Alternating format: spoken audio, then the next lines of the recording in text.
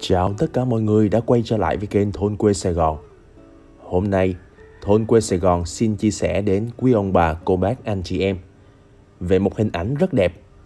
Đó là một nhà nông dân ở Ý tên là Federico đã vẽ chữ Ave Maria khổng lồ trên cánh đồng để kính Đức Mẹ. Tại Lombardy, nước Ý, một nhà nông đã vẽ chữ Ave Maria khổng lồ kèm theo một quả tim. Đó là một cách biểu lộ lòng kính mến Đức Mẹ của ông.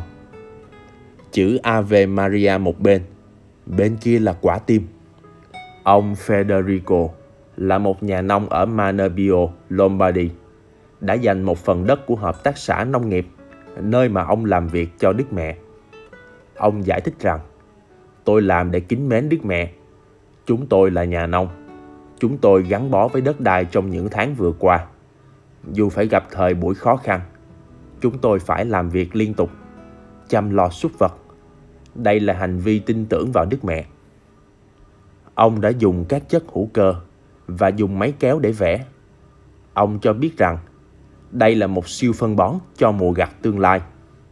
Những năm gần đây, ông hay dùng các chất hữu cơ để làm phân bón và mùa màng rất phong phú và phát triển. Những hình ảnh này được chụp bằng máy bay không người lái và được lưu hành rộng rãi và được rất nhiều cư dân mạng thích thú.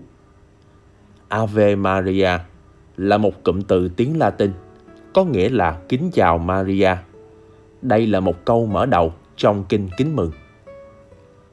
Kính mừng Maria đầy ơn phúc, Đức Chúa Trời ở cùng bà. Bà có phúc lạ hơn mọi người nữ và Giêsu con lòng bà gồm phúc lạ. Thánh Maria Đức Mẹ Chúa Trời, cầu cho chúng con là kẻ có tội, khi này và trong giờ lâm tử. Amen.